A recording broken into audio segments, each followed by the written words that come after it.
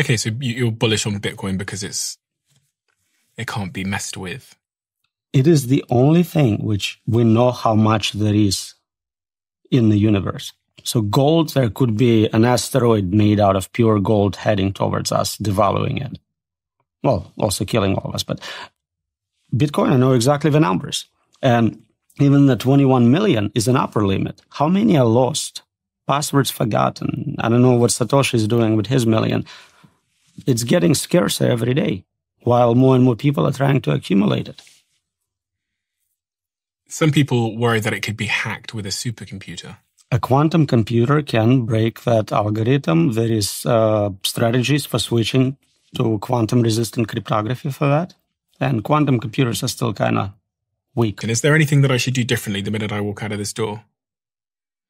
I assume you already invest in Bitcoin heavily? Yes, I'm an investor in Bitcoin. This is financial advice.